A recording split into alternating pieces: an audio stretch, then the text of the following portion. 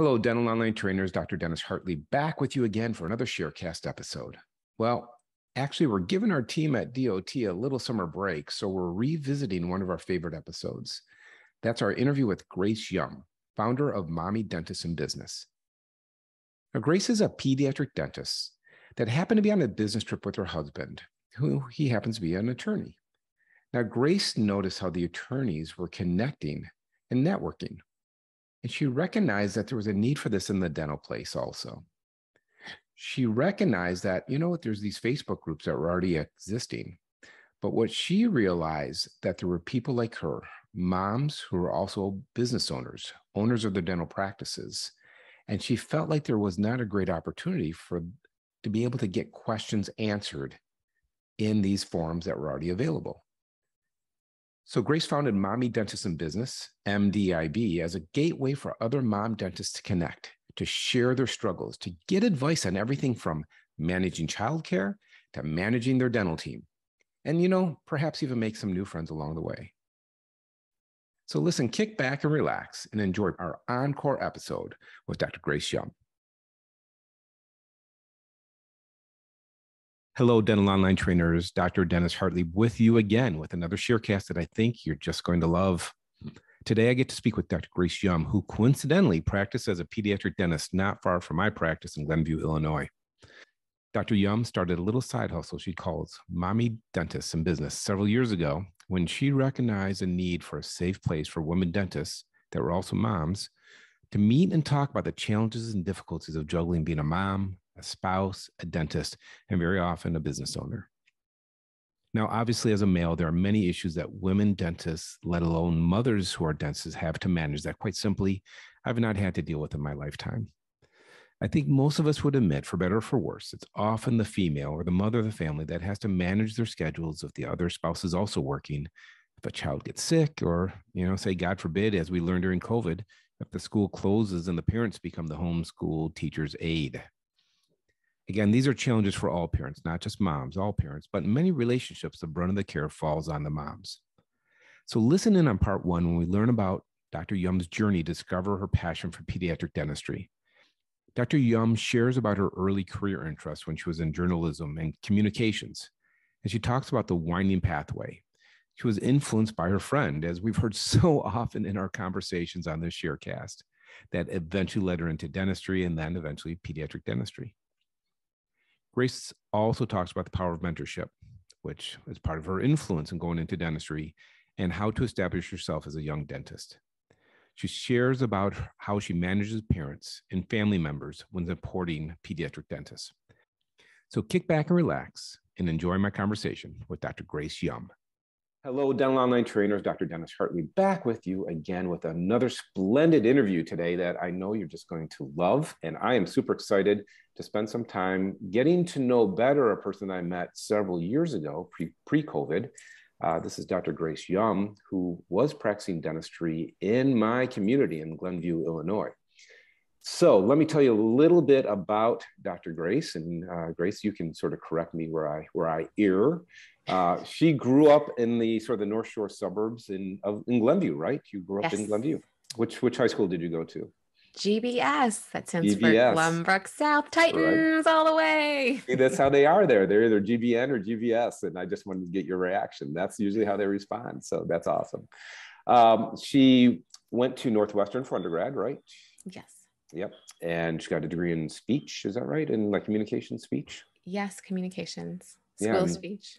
Yeah, and you know Northwestern's like killer for that. I mean, that's journalism and yes. speech. I mean, uh, that you know. was that was my direction. That was my hope to be a journalist. Ah, and here you are. Maybe, maybe circling back around. So, uh, after Northwestern, then you went down to University of Maryland. You were a terrapin dentist. So yes. you did uh, the home of the, the, the Maryland Bridge. The Maryland Bridge and the first dental museum in the world, and also the first dental school in the world. Ah, there we go. All right. I went to Michigan and we we had a pretty cool museum, but I don't know that it was, uh, you know, there's only so much stuff you can fancy over old dentistry. So uh, then after your uh, dental school experience, you went back up to Chicago and you did your pediatric uh, training at Children's Memorial. Well, what did they call it back then? Was it Children's Memorial Um, yes, it was Children's Memorial Hospital, which part of now- Northwestern. part of Northwestern under the Northwestern umbrella, and it is now called Lurie's and Ah, Robert, right. you know, Lurie Children's Hospital. They since have taken it over, and the campus is now fully downtown. Before it was located in Lincoln Park. Right.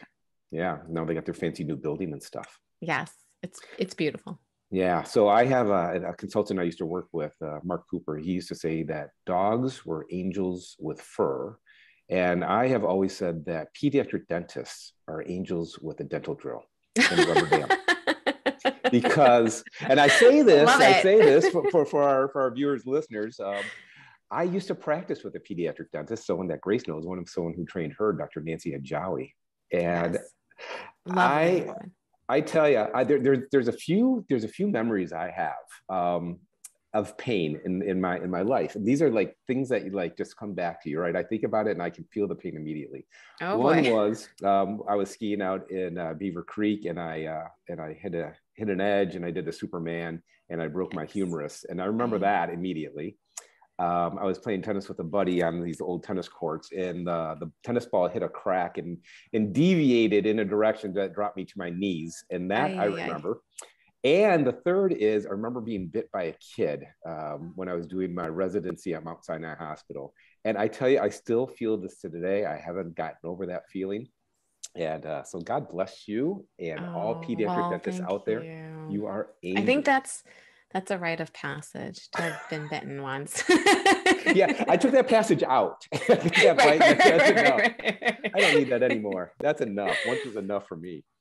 Uh, oh, dear. All right. So uh, I, I want to talk about how you got into all that stuff, but just sort of to finish up on your background. After you finished up with your pediatric rotation, you did some, uh, you started a couple practices in the Chicago area, one in Glenview and Yeah. then one in, um, it wasn't Lincoln Park. Where was your other practice? Logan Square? It, it was Lakeview, Lakeview area near Wrigleyville. Okay, gotcha. Yes. And you have since uh, sold off those practices, but uh, about four or five years ago, you, started what's called Mommy's Dentist in Business, uh, which is Correct. which is really really cool, really fascinating. And I want to talk about how you got into that, but I want to talk a little bit more about your background, how you got into dentistry. A lot of things that I like to learn about is sort of how people got into dentistry, and the stories are always so fascinating. Grace, I tell you, I mean, it is really interesting. Talk to, I was talking to Jeff Rouse a bit back on our, our Sharecast and how he ended up in dentistry was just complete happenstance. Um, and everyone I talked to, they have a very unique paths, I think, getting in.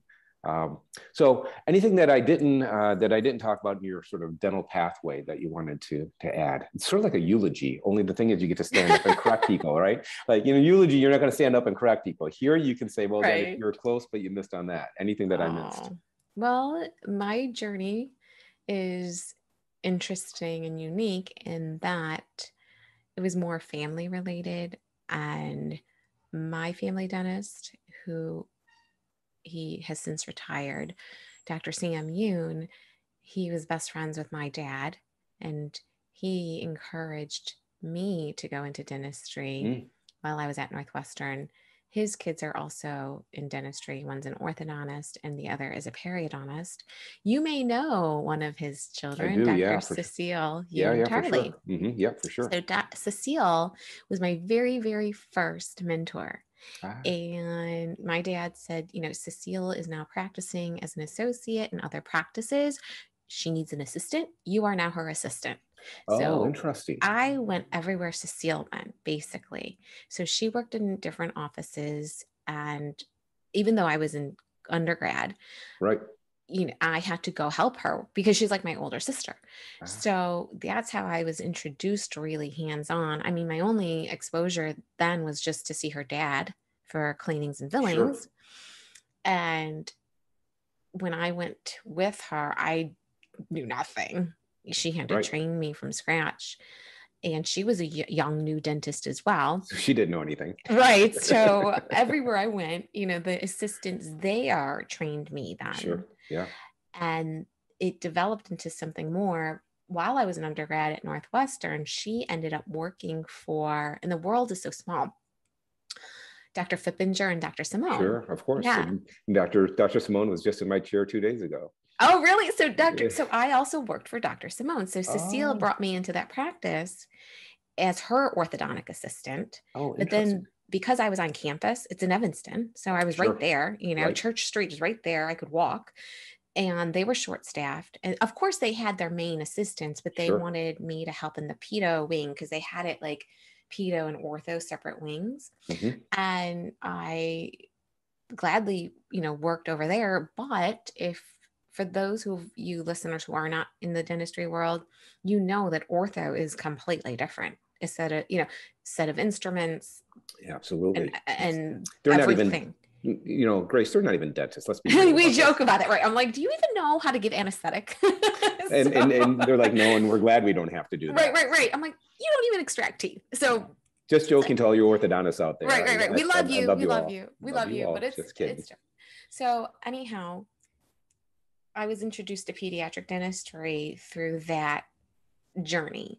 And they were saying, You are good with your hands. You should consider dental school. And I said, I'm not good at science. I am here. Like, my major is communications. I want to be on the news, I want to yeah. be a news anchor. So, so take me back. So you're you're an undergrad. You had no interest in going to dentistry. You're looking at going into communications and. Right. so, what year were you when you started assisting Dr. Dr. Now Yoon Tarley?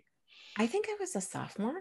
All right. So you're taking you're taking a whole different curriculum than that would set you on pace for dentistry, right? Completely, taking... completely different. But Cecile and some of the other doctors who I worked with, and at the time, I also who was an associate there was Dr. Ray Girado, oh, sure. who is the clinical director of the program at Lurie's, mm-hmm. and I worked for him as a chairside assistant on Saturdays, and that's how I got to know him, and he trained me, but he wasn't the director at the time. This okay. was, mm-hmm. you know, he was not at Lurie's. And so Cecile kept saying, just take the basic prereqs for dental school because you never know. You just don't know. And she's like, and advice. I would hate, you know, she's like, you're in school, just take some of the courses. I would hate for you to change your mind and want to go to dental school, but then you've already graduated.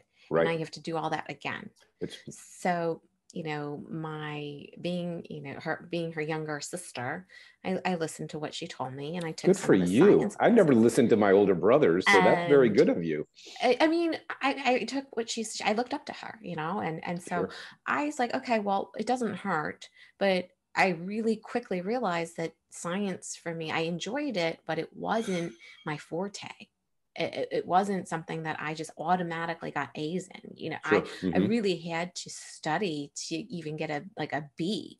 So I, I took the DAT and my parents encouraged and supported me and they were just like you know just do the best you can and if it doesn't work you know if, if you it's a backup like if journalism doesn't work dentistry out, is your backup plan. Dentistry is your backup plan. And i was like oh that's a weird way to think about it but okay. So you know that was my backup plan to go to dental school. And so i wasn't that student that was cutthroat or trying to get an a in everything or trying to get the high score on the dat so I, I just did the best that i could really and I took a gap year. So after I graduated, I worked in consulting for a consultant in Evanston. And then I was I was missing dentistry because I stopped assisting, I stopped doing all of that. And I said, you know, I really miss it. I miss being chairside and I'm I miss all the different things that I did because they had me I worked for uh, Dr. Barry Walvard at one time. Sure, I know Barry for sure. Yeah, I, I worked uh, for Dr. Jan Rozdelsky. No, Jan. I, Talk about Jan. So I mean, I learned so much, and I, I thought, gosh, I really miss it. And they all thought I was very good with children, especially the children with special needs. Like when a ah. child with special needs came in, they were looking for me. Well, let me back up for a second, Grace, before we get into that, because I think that's really interesting. And for all those who aren't in the Chicago community, sorry for all these dentist names that were thrown out, but uh, they're all uh, people that I work with as well. So I'm curious about when you first sat down as a, as a dental assistant, the first day that you're with Dr. Yoon, and so you're sophomore year of Northwestern, and now you're i mean it's it's not a normal situation for somebody to be sitting knee to knee with another person and then delivering you know medical care or dental care to somebody so what was do you remember what your first thoughts were when you when you sat down in like sure. in a clinical situation were you like oh this is this is like crazy or this is mm. awesome or where no i was i was like this is so cool yeah. and only because growing up I was the kid that helped my dad around the house, you know, build furniture, fix things. And even now, I like to like tinker with stuff. Like I like toys. Like I like tinkering with things. Mm-hmm. And so ortho was perfect because it was very mechanical and I was mm-hmm. really good at like putting things together. And so quickly they were training me quickly. And I remember Dr. Izdalski training me how to place turbos. He's like, wow, you're good at that. Like I learned really quickly, just sure. picked up the hand stuff. And as, as I learned ortho, the orthodontist mostly are the diagnose, you know, they're doing the diagnosing and doing the treatment plans, but the assistants really do a lot of the technical technical things, right? Correct. Yes. And so they taught me how to do all kinds of things, and I became very adept at it and they were quickly pointing out you have very good hand skills to me i didn't know what that meant in dentistry sure of course right? yeah i mean when you're so, not in it you're right so they they just kept encouraging me saying you've got very good hand skills you can do this you should think about dentistry. I was like, yeah, yeah, yeah. And uh, when I when I took that gap year and I wasn't doing dentistry, I really missed it. But what I really loved most was the relationship with the patient and the parent and feeling good about the work I was doing and making a difference in someone's life. Yep. And with orthodontics, you see that right away because of the teeth moving and shifting and the confidence and the smiles and yep. and how special it is to get your braces off and and so I felt very I thought when I worked with the consult I was very uh, what's the word I'm looking for struggling with do I continue this path in being a journalism am I helping people versus in the dental office I was really helping someone and making a difference. Well, it's tangible, right? I mean, it's tangible. You can see it. You know, when we do cosmetic dentistry, we can see the way they react. If so, if you're writing right. something, you know, and it, it's nice because as you've done your your podcast and you've written your stuff, you know that you're getting feedback from people, right? They say, you know, Grace, I really enjoyed your interview. I enjoyed this, right? But it's a different experience, right? It's more tangible. It's more, I think, when when it's person to person it's right. there's there's some emotion that's different uh, as nice as it is as it is getting you know emails or getting you know notes from people there is right. that you, get those hugs right you literally right. get physical hugs and you get these emotional hugs right and you see you get to see them often Yep. So mm-hmm. with ortho, you get to see them often, but then when they're done, they're done, and then you don't see them as often. Yep. But mm-hmm. with what I loved about uh, Simone's and Dr. Fibincher's practice was with children, you see them yearly you know every year like you get to watch them grow up you get to be a part of their lives yep. and that to me was so fulfilling i really loved that part of dentistry let me ask you a question so for our for those who are like looking getting into dentistry and for those who are in dental school now um, what advice well let, let me rephrase this would you advise that they go and spend time dental assisting and getting Absolutely. into a dental yeah Absolutely. That is the best time spent. And I often tell people who are interested, you won't know truly what dentistry is unless you are in the office. And I fortunately had the opportunity to work in every single position. yeah, and you worked in several practices, which I think is really important also. But they put me at the front. They put me in the back. They mm-hmm. put me I was taking out the trash, cleaning the toilets, sweeping the lab, you know, pouring up models. I did everything. And back then, there weren't really computers. I had to take insurance forms, put it in the typewriter, okay. type it up, mail it out, pull paper charts. And I literally did everything sterilization, you name it, I did it. Let me explain to our young viewers um, a typewriter is a thing that's like a computer this is weird, but you're going to actually put a piece of paper inside of it and it has ink, and you hit the same sort of keyboard, and you get a piece of paper out that would be like, you know, something like this that I have typing on it. So that's what a typewriter is for, for our Google it. Ask Alexa. Ask Alexa. Go on YouTube. They'll show you how a typewriter, the Corona, the Smith Corona worked.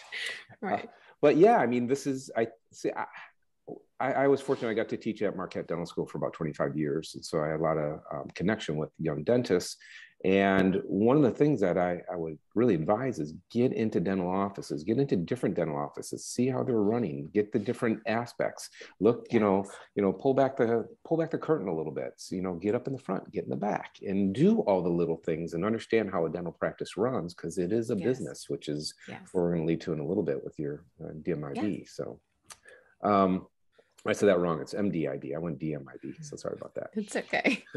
um, in in your consulting life then you're looking back and you're sort of missing this interaction with with people. So was it a was was were you really were you were you challenged to go to dental school? Like were you like yes i'm going to do it or eh, let me let me throw out some feelers and see if it works. Where where were you with that? No then i was gung-ho i'm doing this. I was committed it. i was 100% committed and really fought hard to get to where I wanted to be.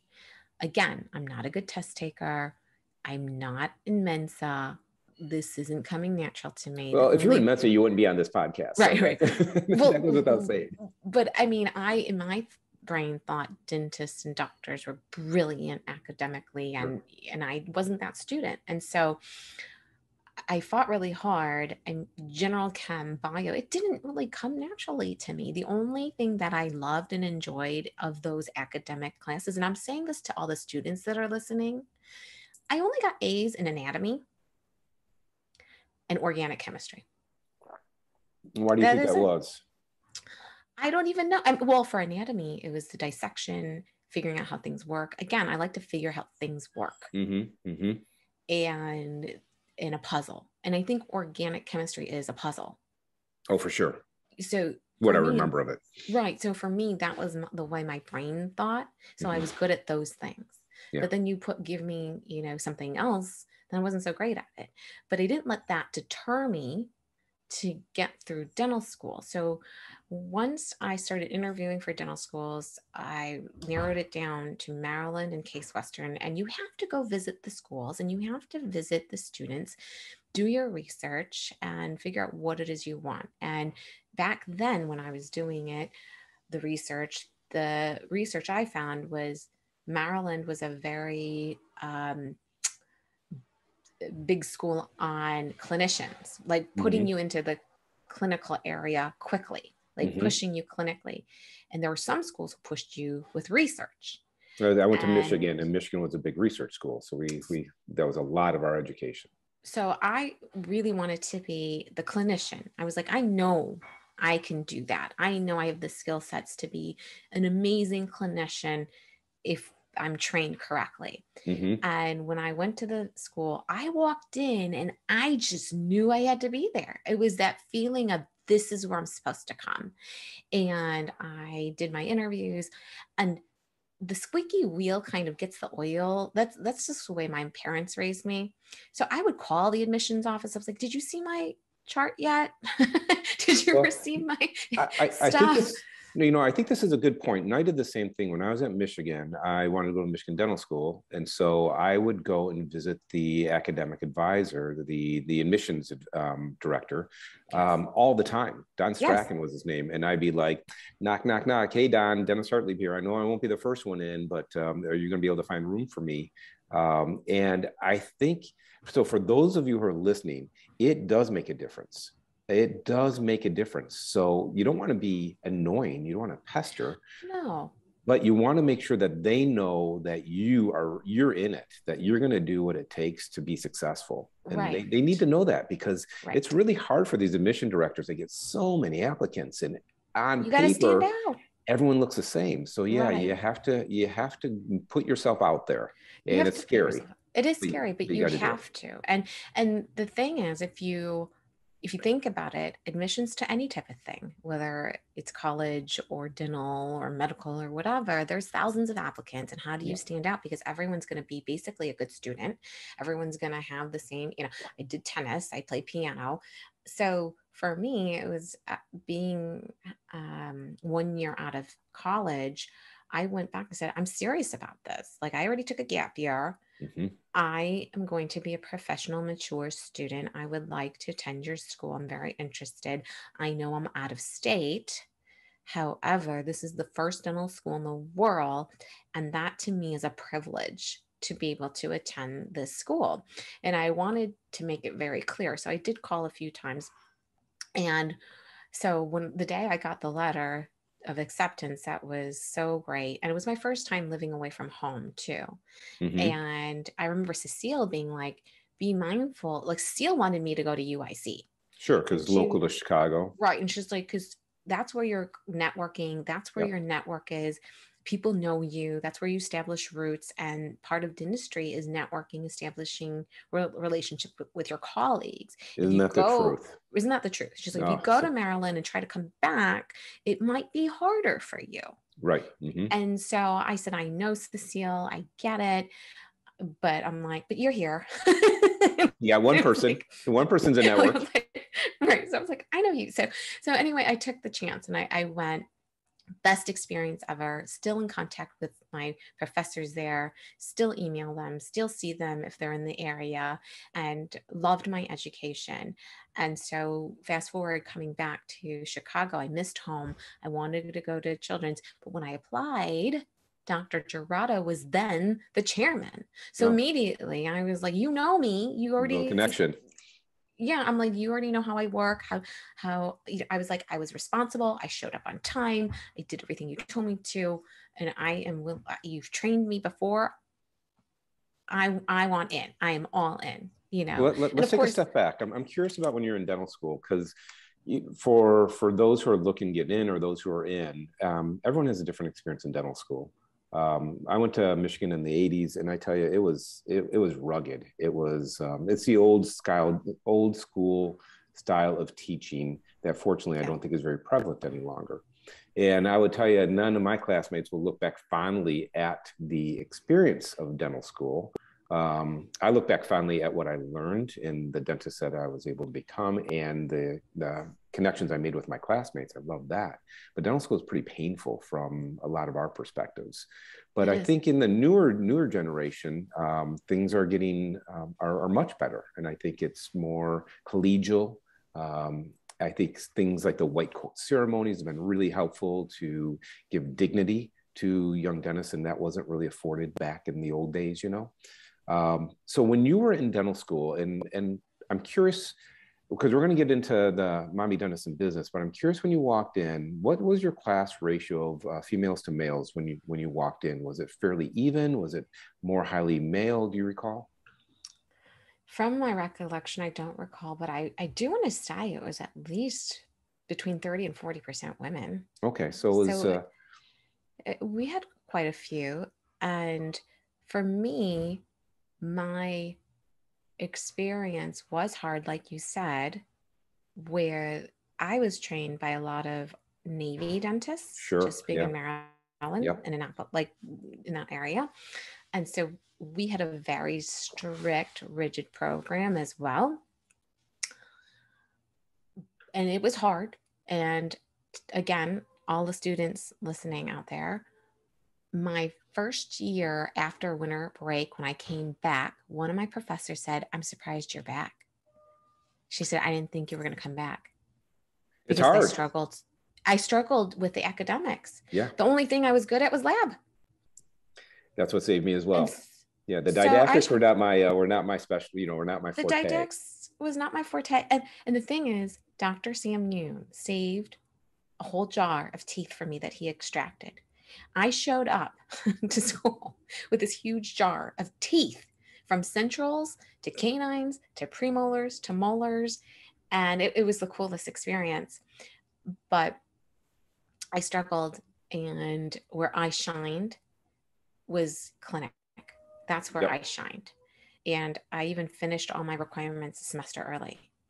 Oh, that's great. And so that that was really neat. But do you I, remember? Do you remember what your first dental procedure was that you did on a living patient? Dentures. Okay.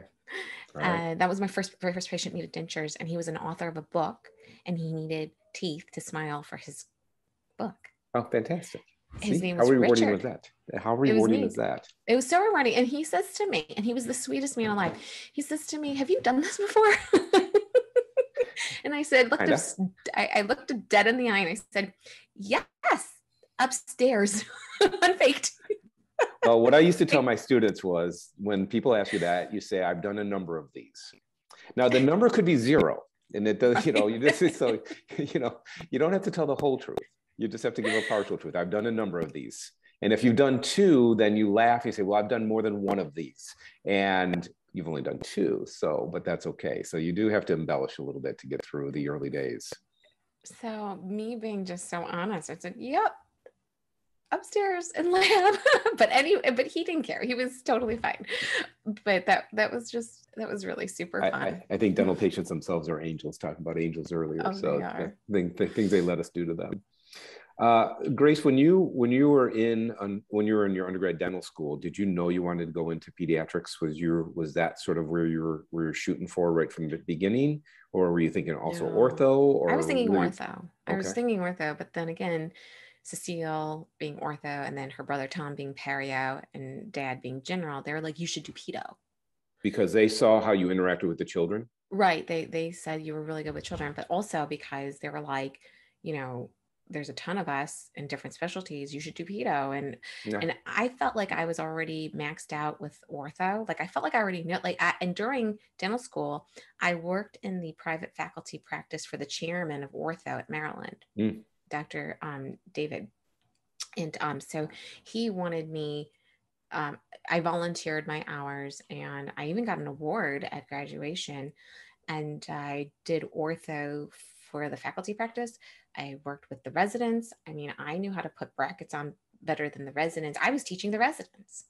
And so then was, was your thought then then hey i can do pedo and if i want to do ortho i already yeah. have the skills to do ortho yeah exactly okay exactly yeah so that's what i thought and i figured i would at some point work with cecile but by the time i got back to chicago she was already selling her practice moving to the east coast so it never really panned out that mm. way but I honestly didn't, I honestly didn't feel the need to learn more ortho. Sure, makes what sense. I was exposed to then was the OR. As uh, for for pediatric dentistry. For pediatric dentistry, and that right. just blew my mind. I mean, Eh, general anesthesia and surgery. I was so excited. I was Oh, interesting. I was like this is so cool. And that's what I wanted to do. I wanted to be in the OR. Oh, interesting. Because we did a bit of that when I did my residency on Mount Sinai on the west side of Chicago. We saw a lot of kids that needed, you know, tons of dentistry and they needed to have general anesthesia. So we did a lot in the OR back in the day. And I had sort of a different feeling about it. I was sort of like, I felt sad about it. And while you know it's it's a great service, I mean it's unbelievable because these kids are in pain. They have abscesses, they have multiple teeth that need to be removed. They need pulp stainless steel crowns. They need the the whole shebang, right? Um, but I was I had sort of the opposite um, feeling. I'm like I I like the fact I got to do a lot of dentistry, but I really felt I felt bad. I, I I just I just didn't I didn't love the fact that we that these kids were in such need and i had a hard time with yeah. that so it's interesting yeah. to hear your perspective and i get it i get it because you get to do a lot of dentistry and really help in a really high level high level but also hone your skills i mean the oh, kids sure. are sleeping and not moving yeah so that's you're, nice. you, you're you're picking up speed you're you have three cases a day sometimes you have 12 13 hour days in yeah. the or yeah. but you are um, really learning dentistry like your dentistry you do a lot perfecting it yeah. And so when you're doing it live on a live patient, you can do it confidently. I mean, mm-hmm. obviously they're moving around, but you don't have to get second guess your clinical right. skills. Right. So you know what to do. You know what to do. So that that was really great. And I mean, and going back to dental school, had I not done pedo, I, I really loved oral surgery, but I was not committed to the length of training. Mm-hmm, mm-hmm. And I looked forward to oral surgery so much. I loved going to oral surgery rotation and I had the best teachers there. Ah, that's great. Were, that makes yes, all the difference. Yes, they were intimidating, and yes, they yelled at you, and yes, mm-hmm. they you know embarrassed sure, you. It's, it's high stress, high stress environment. It was a very high stress environment, but my dad was a Marine, so I was like kind of used to like that disciplinary like mm-hmm. approach, and so I wasn't afraid of it, you know. So when I showed up, I they didn't have to handle me with kid gloves on. Like I was like, "Yes, sir," you know, whatever they threw at me, I didn't take it personally. And I really was taught oral surgery really well at Maryland. So when I got to pedo residency at Children's and we were putting kids to sleep, we were also, again, we are the specialist to seeing children, but we also needed to see the special needs children. And in a hospital setting, you're seeing all the special needs children. For sure. Yeah. Until 18, 19 right. as well. And maybe and so, even beyond, right? Because it's, it's hard, it's hard to find um, restorative dentists or general dentists who will, yes. who will tr- treat that population because there's, exactly. there's so many diff- different demands. Exactly. And we had to extract adult teeth and I was very comfortable doing it. And we had an oral surgeon, um, gosh, I think his name is Dr. Mark Olson. Um, he's out in Carol Stream. Oh gosh, I can't remember his last name. It's been so long. But that Alexis Olson? No, Alexis Olson is Northwestern downtown. Northwestern, yeah. Mm-hmm. But we had another. He I had another attending at Lurie's, and he only came so often. So we had to schedule these patients who needed extractions on the days he was there, mm-hmm. and so it was a busy day for him. He was running from procedure suite to procedure suite, sure, doing these extractions with the multiple residents going on. And you know, one day he came in. I was with my attending, and I said, "I'm going to take these teeth out." He's like, "Are you sure?" I said, "Yes, I can do it." Go ahead, go do it, you know? And so I was taking these teeth out. Dr. Mark walks in, he's like, I'm here. And I'm like, I'm done. And he said, What do you mean you're done? And I said, I just did it. He's like, he was so excited. He was like, I am so happy you did this. And I'm like, I didn't go to dental school not to learn how to pull teeth. Mm-hmm. Yeah. You know, I was just like, and I'm not here to not learn either. And if I pulled, if I was in the middle of pulling a tooth and something went wrong, I knew you were here. I knew you would be here to help me. Yeah. But I'm not going to say no and shy away and back off because I'm afraid. And I tell residents all the time this is when you are supposed to make your mistakes, and this is when you're supposed to learn. Well, I think that's the thing. I think sometimes people can be so afraid of making mistakes that they they'll not step forward. Right. And I, you know, one thing you've talked about, and though you haven't used the word, is you've had a ton of mentorship and it's and i think that's a critical aspect when you're going through you know from de- dental school pre-dental school all the way through as a dentist is finding people to mentor you and absolutely and, and learn as uh, as you're going through the process. Absolutely and i encourage you to find that mentor that teacher that you click with. You don't click with everyone that's okay there's millions of personalities out there.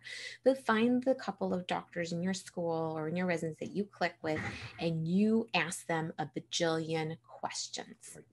Yep. and you they are the, that's why they are there and teachers are saints as well because they don't really get paid much for this, you know. Oh, they don't. And, no. and they could very well be in private practice making a lot of money, and they don't have to be there if they didn't want to be.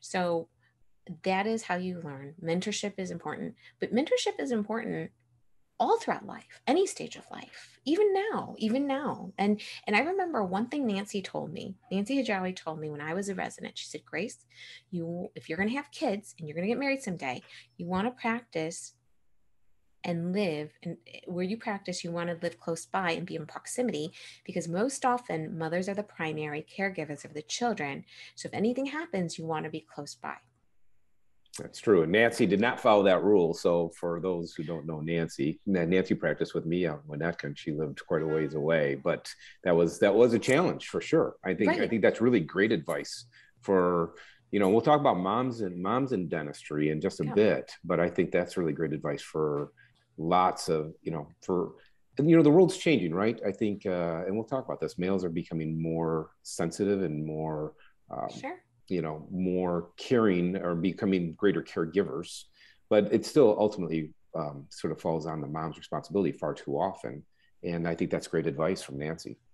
Yes and i took that to heat. And i really looked up to people and i took i took everyone's advice and i said there there are people in your lives that tell you something and you can take it and receive it and do what you want but the good advice you really should consider it because yeah, oh, they're not sure. they're not telling it to you to ruin your life mm, they they're telling it to you from their experience in that experience you can either just go and gain all that experience on your own um, right. or you can and you know for me for a lot of times i would hear it and i'd still have to i'd have to prove them right you know sure. i'd have to go through sure. it and say well yeah they, they were right but right. and then I only had to do it once you know i didn't have to do it five times it's like yes that's exactly what they said would happen and i won't do that anymore right and so it did save me some some learning but i with for me and as we talked about off air um, and for those who've listened before, I joined Dr. Buddy Mopper's practice. Buddy was a pediatric dentist uh, in the Chicago area, the north suburbs. And when I joined his practice, Nancy Hijawi, who you're just uh, referring to, I used to call her Nopra, by the way, the, the Nancy Oprah, because um, N- Nancy just had great wisdom. She was very, very yes. Oprah-like in her, in her thoughts. And so I joined a practice that had a pediatric dentist uh, full time and we were doing cosmetic dentistry and sharing a space and it was a very interesting dynamics.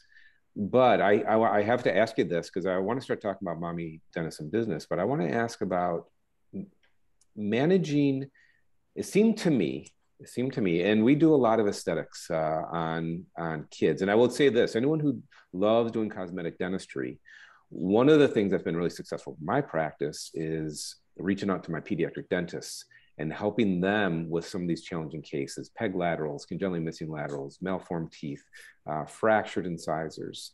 Um, a traditional, typical pediatric practice is seen you know more about volume right? There's a lot of kids there's a lot of action. They've got three hygienists that are running. They got a lot going on. It's i think difficult to spend an hour and a half doing a specific procedure on on a youngster where that's the nature of our practice in cosmetics you know for me to have a seven hour patient is typical um, to do two hours to do bonding do layered bonding that's sort of what we do. And so my biggest referral is actually pediatric dentists. Um, and so for anyone listening out there you want to do cosmetic dentistry get the skills and then reach out to your orthodontist or reach out to your pediatric dentist yes. and they will they will help you build your practice and once you start working on the kids well guess who else does peg laterals well mom or dad did and yeah. who else has a bad smile because of that because it was done you know maybe not ideally and it's what really what blew um, blew up my practice was just working with Nancy first, and then Dr. Simone Malou and other other pediatric dentists in the community who've trusted me to work on their Absolutely. patients.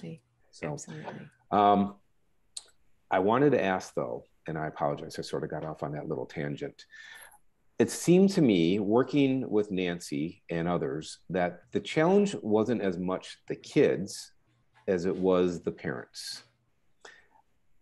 Um, is that is that my appreciation, or now what what what, what can you say about that? I'm I'm for those who are going into pediatrics or even into dentistry and you're going to be working on kids tell me about the interaction between the provider and the parent of the kid you're working on that's a very loaded question It and, is, yeah i purposely not, but but you're not practicing sure. now so you can be maybe sure. a little more forthright right absolutely and as I formulate my thoughts on how to answer this, trying to be diplomatic, yeah, a politically PC way.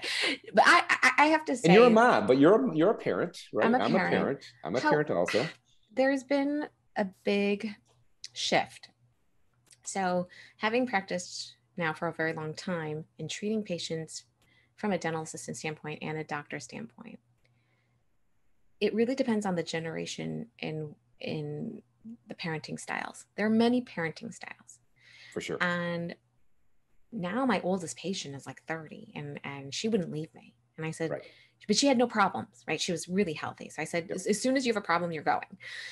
And I've noticed the parenting styles shifting.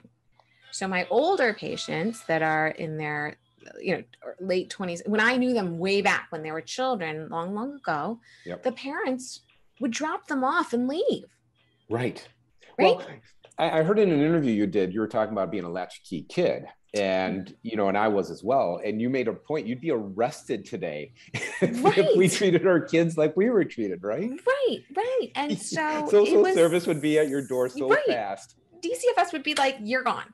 Exactly. i'm coming to get your kid. And so uh, the the chil- the children were just dropped off and they, they'd say okay dr Yum just call me. You have my number. And i, I need to go shopping for groceries or i need to go right. pick up the other kid at soccer and i'll be back so it was so different.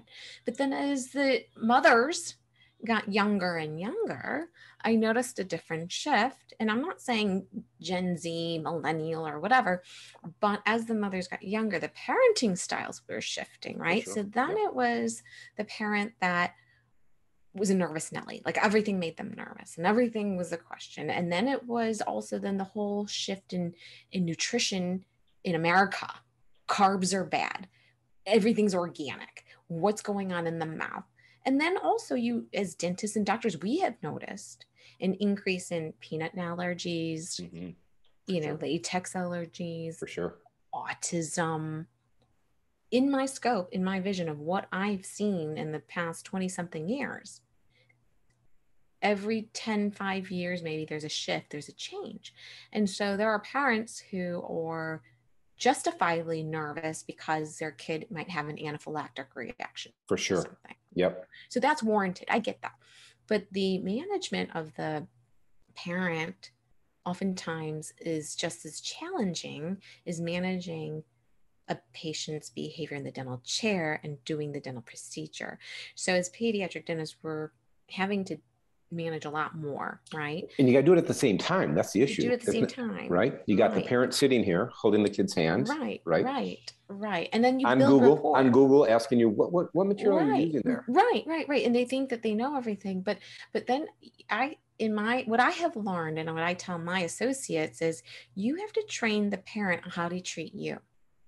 I think that's a great that's great advice. So you have to lay down the law in a gentle and firm way like, this is how I do things. And if you aren't comfortable, then I have to refer you to a different pediatric dentist. So if you can't do it the way I want it done and the way I do it safely for your child, then you need to go somewhere else. And that's okay. For example, nitrous oxide or restorative patients, right? Mm-hmm. Oftentimes, a child's behavior will be skewed when a parent is in the room. And I tell a parent, you leave your child starting kindergarten, age five, at school, they separate from you for many hours. Mm-hmm. It's kind of like that. They are only with me for 30 minutes. You can have that separation, but you need to trust me. I'm not going to force your child or do anything that they don't want to do. And if we need you, we will come get you. You know, and how did, how, how did you find the parents generally responded to that? So generally they say, okay, and I have to reassure them, you know, it's the communication, it's reassuring the parent, reassurance, reassurance, reassurance, saying, I have a window. I'm going to shut the door, but there's a window and you can look through the window if you feel that you need to be right there. You cannot be literally physically in the room breathing on top of me. And I tell them, when parents are in the room with me, I get distracted because guess what? You ask me 10,000 questions. And then guess what? Your child is on nitrous oxide longer than they have to be because I have to stop and answer your question. And then yeah. I can't get my work done. And I was like, if you want me to do the best clinical work for your child, you have to leave me alone. It's so interesting to me that people would, that the parents want to be in the treatment room and they would never be in a treatment room if their kid was getting scoped for a knee injury. Right. Um, they're, you know, and like you said, they, they don't join them at school but for some reason there is a sense that they need to be there holding their kid's hand and the anxiety of the parent heightens the anxiety of the kid and it exactly. just becomes even more of a, a challenge. Um, exactly. um, yeah and th- this is and truly i i mean i love children and uh, blessed to have one and i the group that i've really become really fascinated by and love treating the the young adults the high school age yes a group that I never would have liked until I started getting to understand a little Love bit them. the emotions, Love right? Um, but it is really, it's, uh, I think getting the parent to separate to allow you to be able to have the one-on-one relationship that you need to be able to do the dentistry at your highest level is so critical. But boy, it's such a challenge. I, I, I applaud you all on your daily on your daily events of man, trying to manage that. It is. But after a while, you know, once you build rapport and they trust you, mm-hmm. it is all about trust. It's all about trust, you know, and it could be even in the same office with different providers, right? So yeah. I think that one way or another, and it got to the point where it was weird for me where I owned the practice, but it got to the point where there are new patients that I didn't even know, but they were seeing the associates. Mm-hmm, and if the associate was sick and I filled in, they'd be like, "Who are you?" Yeah. Oh, I've same same thing in my practice for sure. Yeah. Yeah. Well, I'm I'm the guy with the gray hair. That's right, I've been around for a while. I'm like, yeah. I'm no one. Don't worry about it. yeah. No, same thing. Yeah, I get that. All right. Well, listen, thanks, uh, Dental Online Trainers. This has been super, for me, super interesting talking to Grace because, well, I love talking dentistry and a truly uh, pediatric dentist, uh, you, you, you have a special place in heaven. Uh, okay. So uh, we're gonna we're gonna pick up our next session, uh, second part of the interview, when we're gonna talk about mommy's dentist and business, MD, MDID, um, MDIB. MDIB. MDibs. MDibs. That's right, mdibs.com. MDibs. Mm-hmm. All right, so check us out on part two of our interview and look forward to seeing you at the next session. So, Grace, thanks, and we'll pick this up Thank on our next podcast. Perfect. Hey, dental online trainers, thanks for listening. Look, if you enjoyed our conversation with Grace, and I hope you don't mind the little little segue we took down memory lane with some of our common colleagues and influences in dentistry. It was really fun listening to some of the names that Grace brought up, and they were very influential in me in the dentistry that I got to do and the practice that I'm in. Well, listen, look forward to part two of our conversation where we talk more about MDIB or Mommy Dentist in Business and Grace's inspiration to begin that new business. So, look, if you love our sharecasts, please tell your friends. And you know what? Send them a link. And don't forget to give us that coveted five star rating wherever you listen to your podcasts. Finally, if you're not a member of Dental Online Training, check us out at dothandson.com for information about our live virtual courses. And by the way, we have our CPR for the Worn Dentition course coming up at the end of March. I think it's March 24th and 25th, 2022. Um, we have our recorded hands-on courses so you can do these courses in the comfort of your own practice on your time on your schedule at your pace we have our blogs, our mini tips, our recorded webinars, and, and so much more. Well, listen, until next time, I'm Dr. Dennis Hartlieb, yours for better dentistry.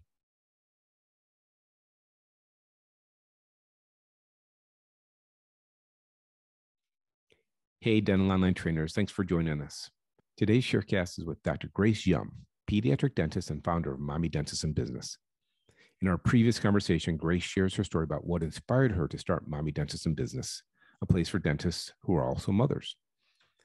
It's a gathering place for mommy dentists to meet, to support each other with the challenges of running a household and running a dental practice. Grace talks about the need for supportive communities of dentists where there's space for collaboration instead of competition. She also shares about juggling all the different aspects of her life as best she can and how she views the importance of getting help when needed to keep everything running smoothly. So listen, kick back and relax and enjoy my little conversation with Dr. Grace Yum, founder of Mommy Dentist and Business. Hello, dental online trainers. Dr. Dennis Hartlieb back with you again for part two of our conversation with Dr. Grace Yum. Yum, right? Yum? Yum, yum, yum. I'm either supposed to be a dentist or a chef. there you go. Maybe a little bit of both. Uh, if you did not listen to part one, I encourage you to go listen to part one of our interview because you get to listen to Grace's background, uh, how she got influenced to go into dentistry. And so interesting in all these interviews I've done, it's so interesting to hear the person that influenced the, the, the dentist that got them into dentistry. And Grace is no exception. You'll hear her background. She'll learn how she got into pediatric dentistry and some of the some of the challenges uh, being a pediatric dentist. So it's a great little conversation that we had. The second part of our conversation is going to be about an organization that Grace started back in 2017, uh, Mommy Dentist in Business, or you can find it at mommydib.com, correct? Yes, Dennis, correct. Yeah. Um, and I think it's just fascinating. And so, Grace, if you can sort of jump in, uh, tell me your inspiration of like, just bring me back. So, what's, what, what was going on? Absolutely. Great question, Dennis. Four years ago, I was practicing dentistry full time. Monday through Thursday, two Saturdays a month, teaching residents. I had one resident from each program, actually, UIC and Lurie's, rotating through on Saturdays. And I was about to, or thinking about opening a third location in the western suburbs. Mm. My city practice was great because it was like the flagship sure. office and yep. lots of new families, young couples, one child getting two. Then they moved to the suburbs because they need a big house. Most went to the North Shore. I would say about 70%, then 30% would then go to Hinsdale which is out west, west, for our listeners. Yeah. Yes. So I was tracking where my patients were going. Some would come back to the city every six sure. months, but then some wanted and asked, "Can you open another practice, North Shore?" Right. So that's what stimulated my practice being open in Glenview. So when I did that, before I did that, there was a practice that I could rent. So I rented a small two office practice because one of my attendings at Lurie's was Dr. Frank Vicari. Dr. Vicari is a plastic surgeon, but I met him on the cleft palate team. Mm. So Dr. Vicari's wife, Dr. Janice Vicari, on Waukegan Road, mm-hmm. has this really small, cute little office where she works out of three times a week when she wants, and otherwise it's sitting empty. Mm. So she let me rent her practice so that I could see if patients were coming. Yeah. So that's, that's a great way to do it. Yeah. So I did that. Did you have associates at the time, Grace, or were you on your own? I, I did. I had um I had an associate and um, I don't remember how many, but I was running my first practice for four years before I decided to venture off to the second practice, and I I was already pregnant with my second child, opening up the Glenview practice. And how old, how old was your first child? Two, 20 months old. And okay. so the funny thing is, in pedo, there's really not many practices to buy.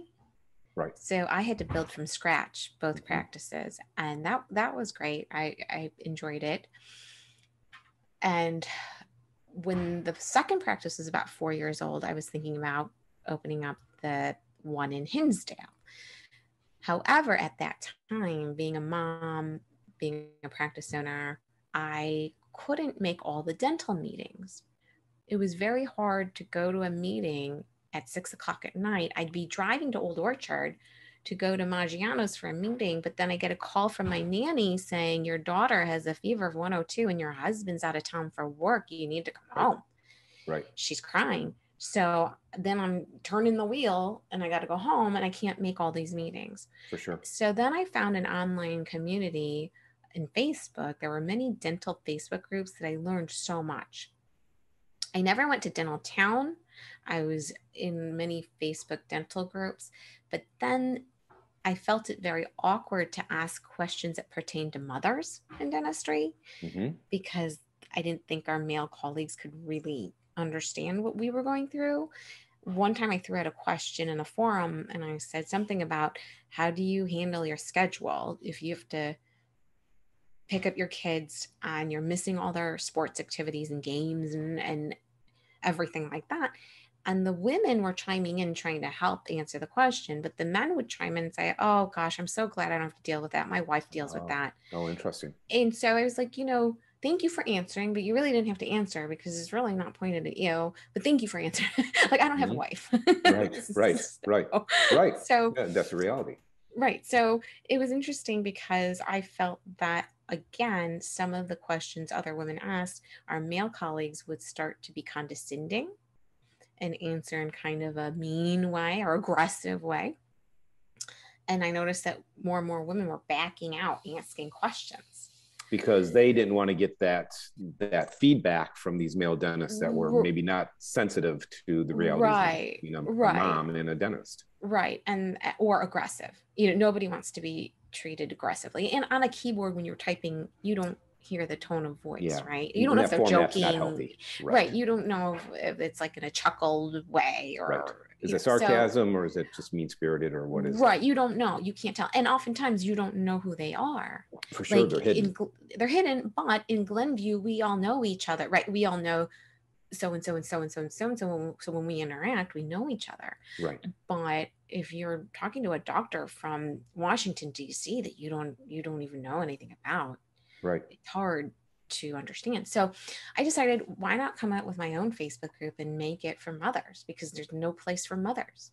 And mothers have a different challenge. We honestly do. So I ventured off, created this group called Mommy Dentist in Business because that's what I identified with. All the hats that I wore. Mommy, I'm a dentist, I'm in business. So those mm-hmm. are the three identifiers. I only started with 50 people of my own friends, dental school friends, colleagues that I knew, and referrals. One thing led to another. People were saying, This is great. We're really helping each other. Okay, can I ask you a question, Grace, before you go on? And I'm sorry yeah. to interrupt. Sure. When when you first started, so I, I think this is I, I think it's exceptional, and I um, I'm surrounded by really Thank incredible you. women dentists and many many are uh, moms.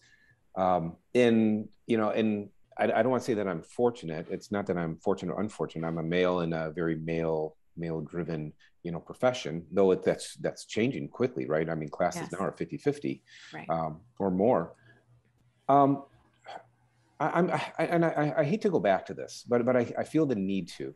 So you talked about this sort of online format where like you have a real you have a real issue you got a question you need you need you need some advice you need mentorship right right, right. and you're you're in this community where there's you know un, insensitive non uh, unsensitive insensitive males I want to go back to dental school because I'm very curious, and I ask a lot of my female colleagues this. Did you feel the same sort of insensitivity when you're in dental school, being a female in this very male-centric no, profession? Not okay. in school. No. Okay, so it's sort of in this hidden, this hidden format where people, where you're in this, this uh, in this Facebook group, and people, or whatever the community was, um, and, and, that's so unfortunate. It's uh, it's terrible as a male that we're that we're not more heightened in our awareness and sensitive um, but I applaud you for for making making a format or find you know creating a format for people to be for women women moms to be able to speak freely and, and openly and honestly. That's that's got to be very liberating. That's got to be really it's, it's got to be incredibly refreshing and liberating for women to be able to have that format. It is. It is, and to get the feedback. It's been four years. It it went by very quickly, but again, I love helping people and if I get an email or a letter in the mail or someone messaging me about how it's changed their life, how it's made them a better dentist, a better mom, how they feel supported, how they feel they finally have people that understand them, the camaraderie. And some of the things that men don't understand about women or oh, there's a lot. There's a lot. There's a lot. We, we, don't, we don't have that there's much a, time. Give me just a few. But but one example would be that if let's say Dennis, your wife, maybe she is an accountant or maybe or maybe she decides to work in the home. The role is different in that, especially with school and kids at school.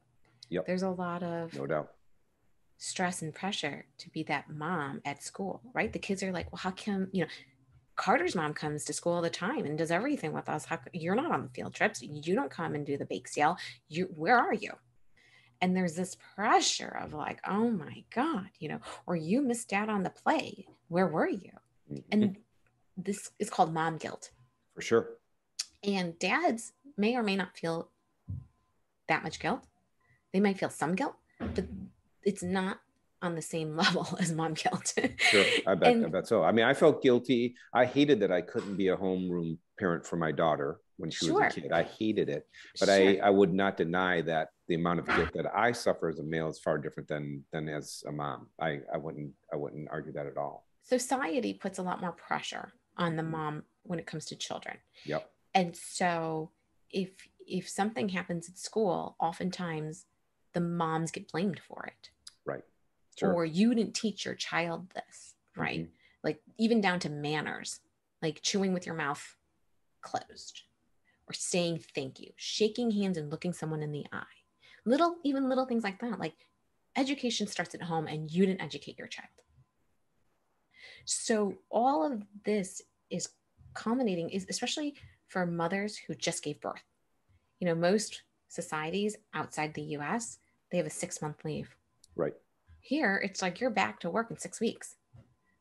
Dentists, I know, two weeks. Yeah, I was going to say, you know, if as a dentist, you're not you're not taking six weeks as a dentist typically. No. So yeah. if, if you're a practice owner, right? No. No. You know, and even after I gave birth, I had my office manager bringing me stuff from the office every day. For sure. So it was, um, or it is a challenge for moms and work that work life balance, but also that need of camaraderie and women comparing themselves or not having that friendship with other moms in their schools.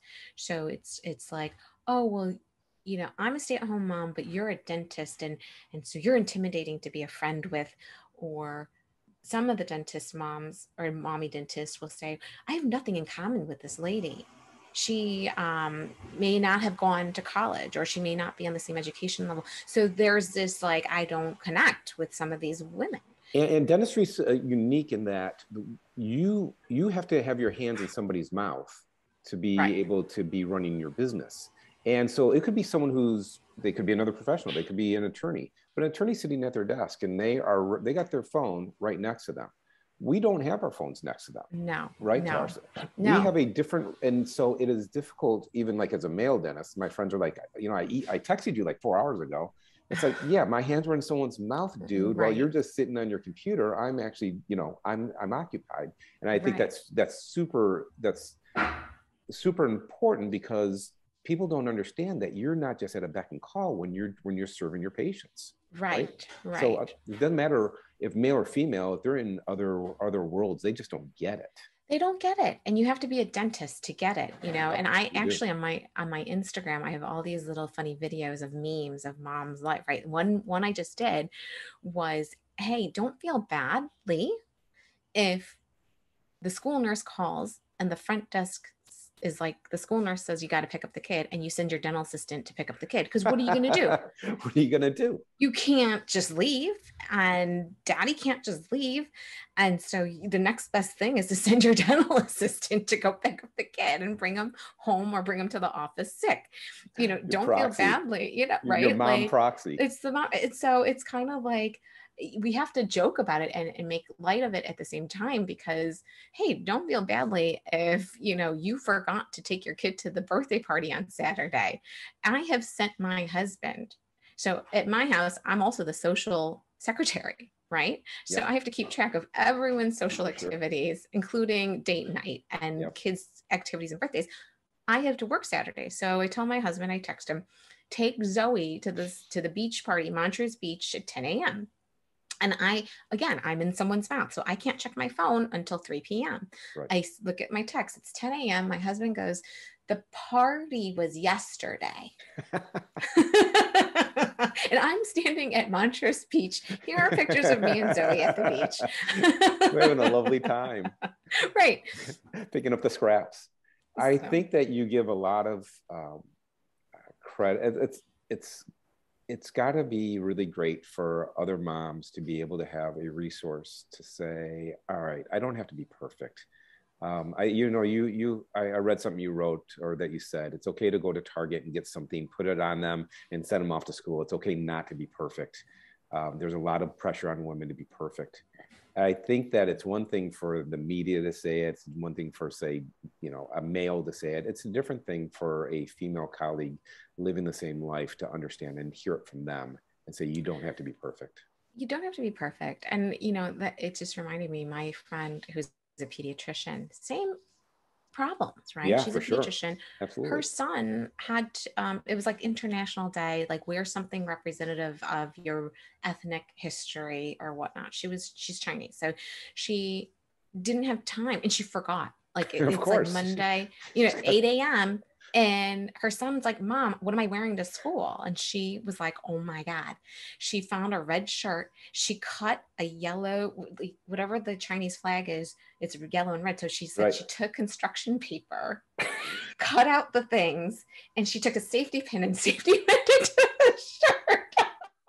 said, Here you go. You're Success. going to school like this. Success. You know, and, and then of course, kids show up in these elaborate clothing, you know, just elaborate. Yeah. And and you just do the best you can. And and as long as your kid shows up and has something, you know, it builds character, it builds grit. They'll be okay. yeah, right. Grit, right? You need grit.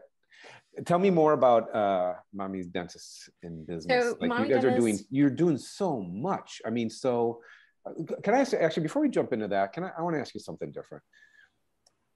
I, I don't believe in work-life balance. I believe sure. in I believe in work-life integration. Um, because I love what I do. I love being a dentist and I love teaching. And um, if you were to look around in my basement right now, you'd see all the models I have put out for the next course we're going to do. and I, I, I had a hard time with the concept of balance because I, I always felt out of balance until I heard someone talk about integration and accepting that who I am is I'm, I'm a dad. Um, I'm divorced, so, but I was a parent. I was, uh, I am a parent. I was a spouse. I have a partner now. Um, and I'm a dentist and I'm a teacher and I'm a mentor and there's other things, right? So it's all sort of integrating all that stuff right Absolutely. so but talk about for i mean you, you've been at it for a while so talk about balance or integration or how do you describe it and how do you w- what thoughts do you have about that yeah that's a great question. People ask all the time how do sure. you balance? I call it the juggle. Mm-hmm. and i say to people it's never quite balanced. Balance means you're at equilibrium. Right. You can't forever be there. You're either up or you're down or you're teetering or you're you're in the wobble. And for me my perspective is it's a juggling act. And if you think about a circus act and the the people that spin the plates on those skinny love it i love little those poles things. yep as a mom i am spinning 10 plates in the air and one will eventually drop and that's okay and it'll shatter but the show must go on you still have to go on. So it is a an act, you know, and, and as, as you know, even around many pediatric dentists, when we show up to work, it's an act every day, no matter how much is going on in your life, no matter what sorrow you're feeling because something happened externally, you show up to work and all of a sudden it's Disney World. You're on stage, it is, man. It is on. Dentistry and, dentistry and, you you are you have to be you're on show. Doesn't matter if you're doing kids or adults man. You come in you can be having the worst day. How's your day doc? My day's great. How's your day? Yeah that's all and that's all you can you, say you have to you have to work with blinders on and you have to leave whatever you're feeling at the door and compartmentalize and so I, I feel like as moms we do a good job of juggling and we multitask and and so sometimes we don't do one thing that well.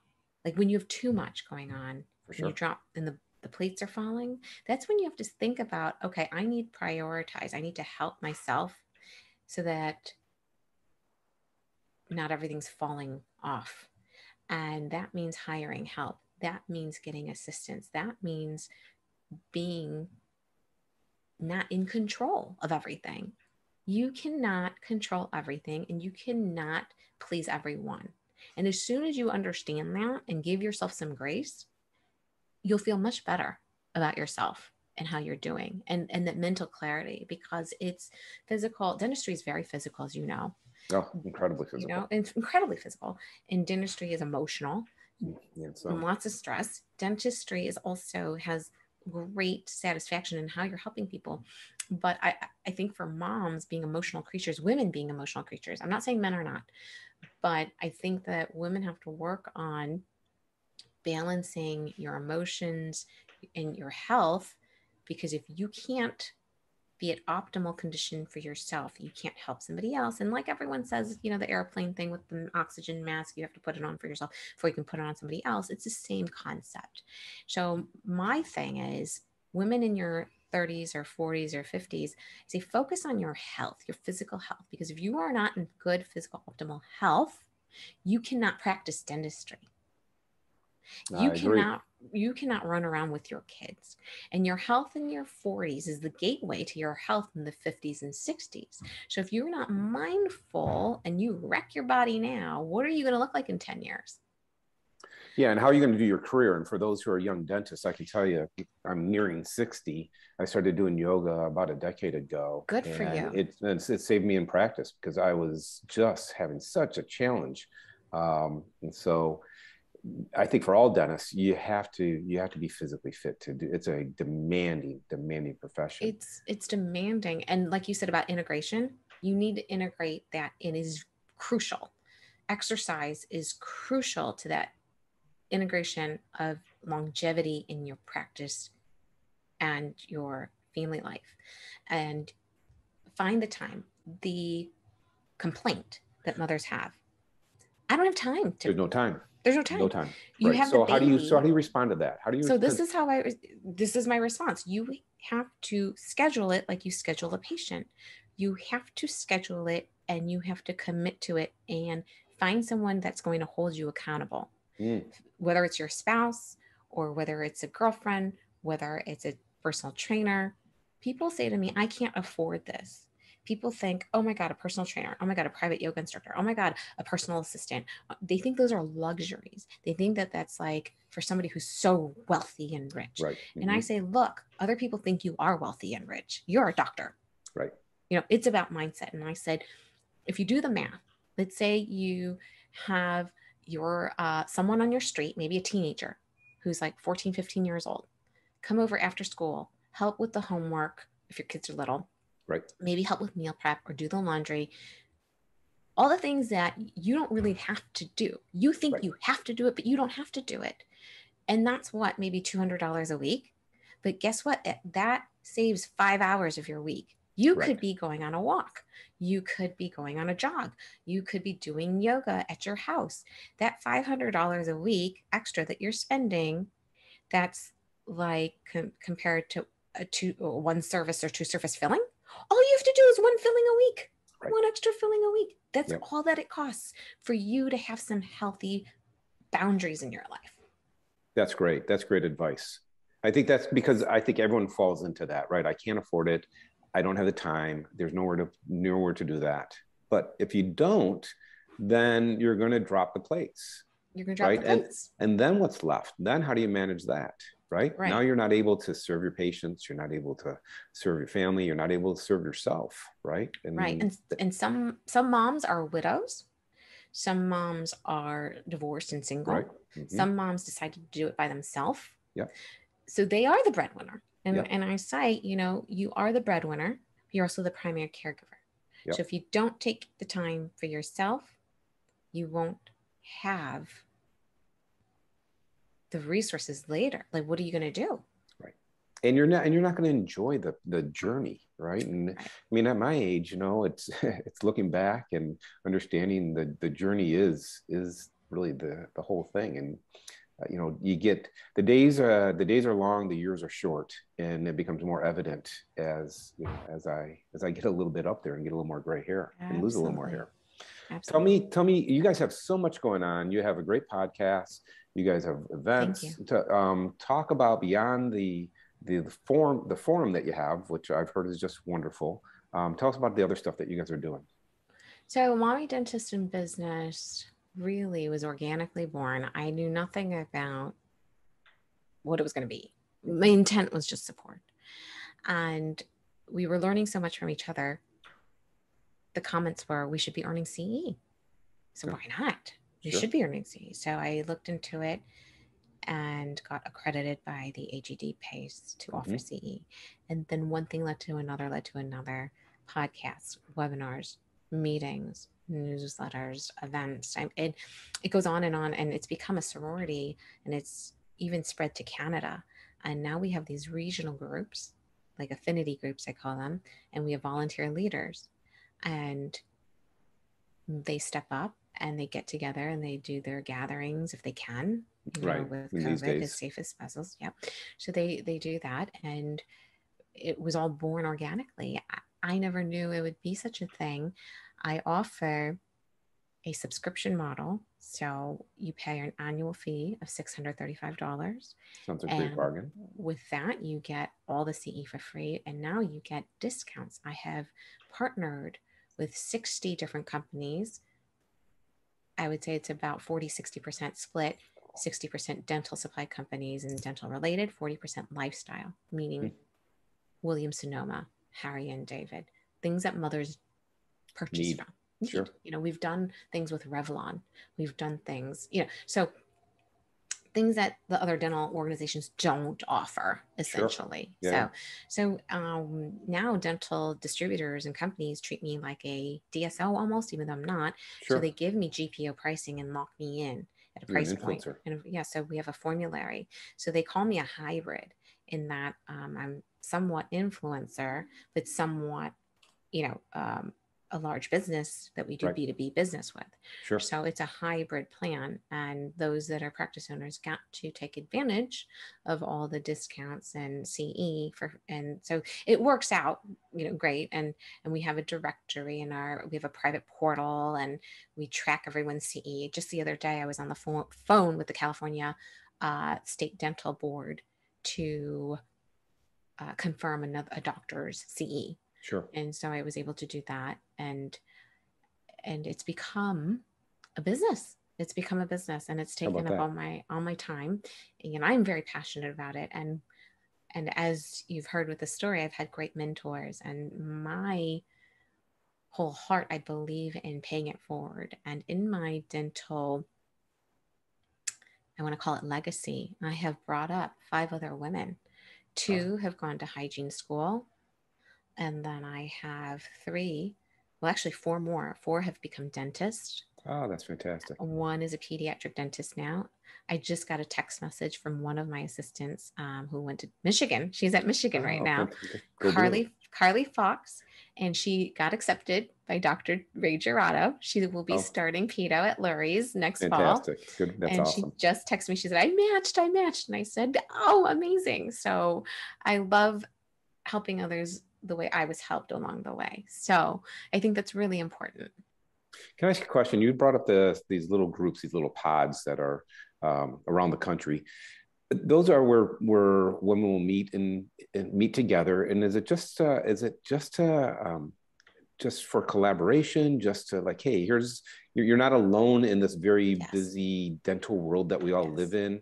And let's just go have let's go have a, a cocktail. Let's go have a Yeah. glass of wine. Yeah. Let's go, you know, see a movie. Let's go do whatever. Is that Yeah. is that the Yeah. idea? It's just a social Break down some barriers. The regional Facebook groups, we call them, are divided into areas where there's a big population of dentists. So sometimes it's by state or region, and sometimes it's literally by city. So there are a huge number of dentists in Texas. Houston has its own Facebook group, Austin, Dallas, San Francisco, San Diego, Chicago. But actually, Chicago, Illinois is grouped with Wisconsin and um, Ohio. Okay. Michigan has its own. So the doctors will get together and have a social gathering just to say, hey, we're in this together Yeah. and we are collaborating. And it, that's basically all that it is. And it's just to celebrate each other. Yeah. And they'll post things like, you know what, I am having to go on maternity leave, or I have to have surgery on my ankle, or hey, my uh, one thing that happened just recently, my husband has COVID and he's in the hospital. Can someone please help me manage work my office for the next couple of weeks? Oh, how Someone can, fantastic. t- can temp for me. Hey, I have a hygienist who's looking for more hours. I only need her for two days.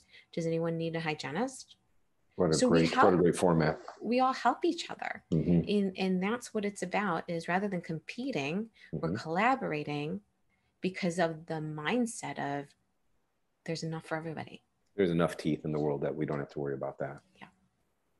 Uh, I, I can't thank you enough. I, I want oh any any event that's coming up that you want to let uh, let our viewers listeners uh, be aware of as um, things are coming along. Oh, yeah, sure. We do three events a year. One is our CEO Roundtable, which is intimate, less than 50 doctors. That's in Laguna Beach coming up in May. We have a clinical event that's held at Bisco, March 31st. Awesome. and that is going to be about 70 doctors. And then our large annual event is in October. It's uh, in Las Vegas, and that's more of a social event. And we do have CE for it, but we have different types of speakers, and so that's always going to be so fun. Uh, you know, but one thing that I wanted to end uh, with you on this podcast is share with everyone one of my role models, I would say, or people that I look up to outside of dentistry on how to run a business is Isadore Sharp.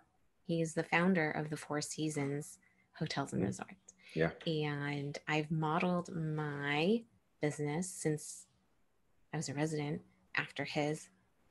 Because of my patients, I always ask them where they go on vacation. And they always say, it's at the Four Seasons in Hawaii or Four Seasons. And I was like, I've never been to the Four Seasons, you know. So I, Yeah. I, I would try to go and check it out. Of course, it's it's expensive, but now I realized why they pay that. Yeah. Why are they paying all this money to go to the Four Seasons? And then you see, and I get the Four Seasons magazine. And so I just recently got one last month. And I wanted to share an excerpt oh, from it, do. if you will. Yeah, absolutely. And for our listeners, and Grace, you may be interested, we just had uh, Mr. Todd Williams on our Sharecast, and uh, he just did a webinar with us. And Todd was the lead trainer for Four Seasons Hotels for a long, long time. He's actually coming to my study club on Friday to do. Oh no um, way! Yeah, do yeah. training with us this uh, this week. Um, That's wonderful. So yeah, Todd is. Yeah, he's uh, he talks about the Four Seasons way, and he's one of the best storyteller storytellers, if not the very best storyteller I've ever heard in my life. He's and he's just incredible. So um, for our for our listeners, check that out because Todd's really phenomenal. And so yeah, you brought up Four Seasons, so I'm ready. Oh, good. I'm so glad. And I mean, I read Isadore Sharp's book, his um, autobiography as well. Mm-hmm. And one thing that uh, it, I loved in this magazine, and I'm going to quote him on this because, you know, he's 90 Yeah. you know, when people reach 40, 50, they always think they're getting older. Well, yes. And it's good to get older, but you don't have to get old. The recipe for not getting old, as those wiser than I have said, is always finding much to be grateful for, to be curious about, to take pride in, to enjoy. And that really resonated with me because as dentists, we are all high achievers and we're always thinking about what are we going to do next? What are we going to do next? And sometimes we don't take a moment to think about what we've done. Right. And this was beautifully written in that it forces you to look back at everything you've done and how much you've accomplished and to applaud yourself. We don't applaud ourselves. We're not our own cheerleaders, yet we are cheerleaders for everybody else. Yeah. And so I, I just wanted to share this because your listeners should think, take a breath, breath, take a, a moment, think about everything you've done and how hard it was and the opportunities you had and what you've accomplished have brought you to where you are today. That's the truth. And you need to celebrate that. And it's why I like reading off the background of our guests because it's one thing, you know, yeah, someone will tell me your background and they're going to leave out some stuff because it's hard to talk about yourself. And I like, I like being able, and I like people being able to hear about themselves. Um, and it's it's just kind of nice. It makes you feel good. Like, yeah, that's uh, I, I, did do all that, and I think that's the, those are those are really good words that you that you finished with. Uh, I, I want to read something to you that one of your um, avid supporters uh, had written. Um, says this is from uh, uh Nikki Lambert Hercom. Um, I love the help, support, camaraderie, and sisterhood that MDIB gives. I've been in study clubs that were and are supportive, but none of the men get it when you're a woman in the old boys club. I think this is a huge problem. And as such, you're also an outnumbered mom, wife, business owner, etc. I found my people. I also have my new best friends who actually get me. And this is just mind blowing to me. And that's such a needed time in my life. Uh, you know, I it goes on and on, and I just, uh, Grace, I think you've really found a void that needed to be filled, and it's it's obvious from just sort of looking at testimonials and sort of doing some background that this is really and actually people I know who are who are members. This is really just a wonderful um, service that you're doing, great organization, great business that you've created, Thank and you. Uh, you should be really just so proud. It really fills fills a need, and I think it's awesome. Thank you, thank you so much. Well, thank you for bringing me on and letting me share a little bit about myself and what we're doing and I am grateful for the opportunity. Thanks for having me. Hi, you're welcome. And how do you how do they find you if they want to get some more information on Mommy Dibs in Business? Sure. Our website, mommydibs.com, is a great place to start. You can find us on Facebook and Instagram. Instagram is public, so everyone can see it. The Facebook page is a private page, and so we do vet every single person. You have how do you to be, vet? Like so how do you like like say you know i'm denise hartlieb and and and mother of two. How, how do you how do you make sure denise hartlieb is not dennis hartlieb?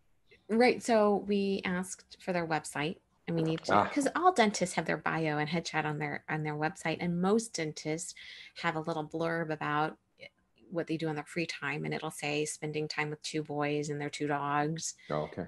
in that format. And in, and then we ask you know are you a mom? And they'll tell us yes or no. So that's how we do it. And we also have a lot of mom mom the canadians say moms mums, um, mums. i just talked to somebody. And so they they say oh well i want my friend to join and she's a mom and she's a mommy dentist. So it's referral you know and then for those who we don't know we just ask. Is there another model like this outside of dentistry? Mom mom lawyers in business mom accountants in business so my sister started mommy lawyers in business Oh, yeah. So she's doing that. And, That's great. Um, yeah. So I mean, I'm sure that there's a lot of other mom. For, I'm sure. Mm-hmm. You know, facets and and in, in their own thing, pharmacy or medical. Truck, truck driving. Um, right. So I'm sure there are. Yeah. Oh, that's great. Grace, I can't thank you enough. This is so generous of you with your time. I mean, I, I feel oh, it's my pleasure. I, I just sort of took away half your day.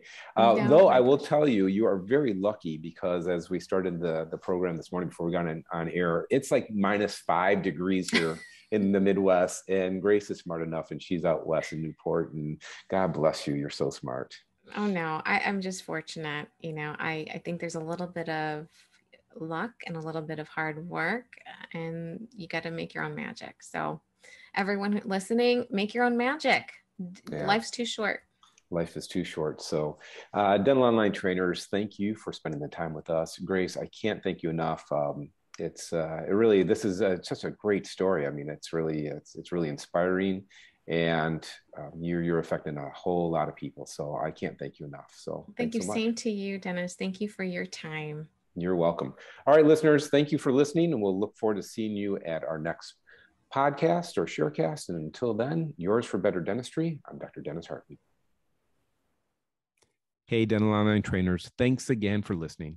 I hope that you enjoyed my conversation with Dr. Grace Yum. And if you're a male dentist like myself, hopefully you'll have better insight to some of the struggles of many of our female counterparts. So, look, if you are a male dentist and you're hiring a female associate, and she's a mom, you have to understand there's some other challenges that she's going to have that maybe we didn't have to deal with in our early days as our as practicing dentists. And if you're a female dentist, if you're a mom dentist, you know, here's a network for you to find support, you know, in your times of challenges so that you're not alone. Now, look, if you love our sharecast as much as I love giving our sharecast tell your friends. Send them a link and don't forget to give us that coveted five star rating wherever you listen to your podcast.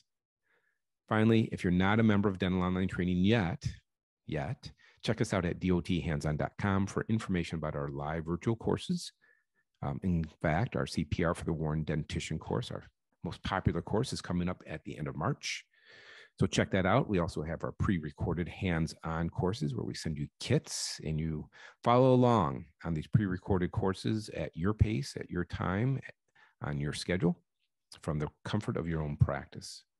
We have our mini tips. We have our recorded webinars. We have our coffee and donut study club that meets one Friday morning a month to go over problems that you might be having in your practice, whether they be clinic experiences or you know technique issues or just managing a practice. All all all conversations are open as we try to make each other better in our practices. Well, listen, until next time, thanks for listening. I'm Dr. Dennis Hartlieb yours for better dentistry.